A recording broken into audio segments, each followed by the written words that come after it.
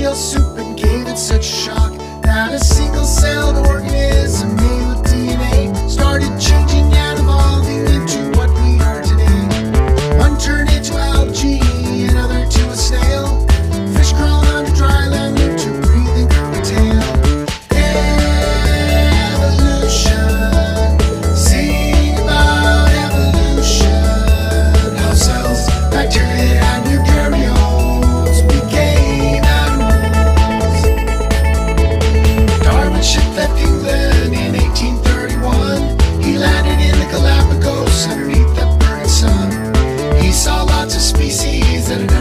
before.